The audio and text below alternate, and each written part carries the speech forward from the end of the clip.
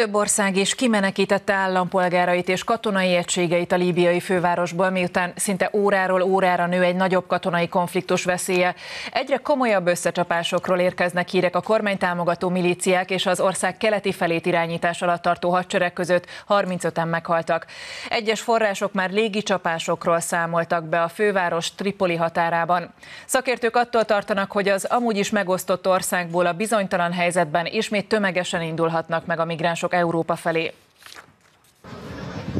Szombaton indított támadást a fővárostól délre fekvő repülőtér elfoglalására a líbiai nemzeti hadsereg. A nemzetközi közösség által el nem ismert kormányzathoz hűséges csapatok rövidesen ellenőrzés alá is vonták az évek óta zárva tartó létesítményt.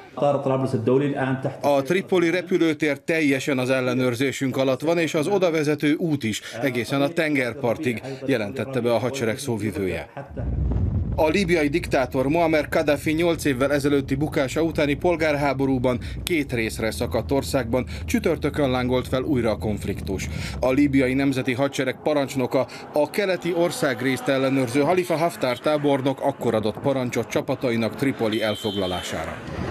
A Tripoli székhelyű az ENSZ által elismert egységkormány ellentámadást indított az offenzíva megállítására.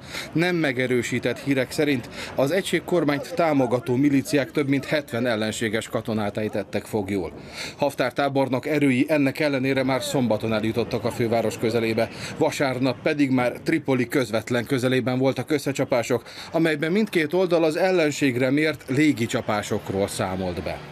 A bizonytalanná vált helyzet miatt India kivonta békefenntartóit az országból, és az amerikai hadsereg több egységét is máshová vezényelték.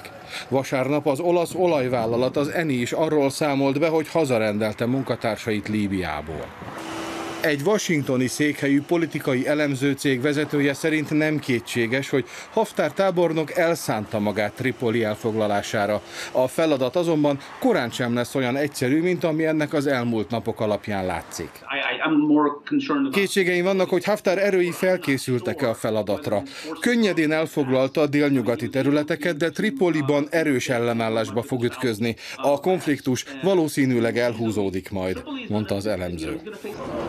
A polgárháborús helyzet kiéleződése azzal a veszéllyel is fenyeget, hogy ismét tömegesen indulnak Európába Líbiából az illegális bevándorlók.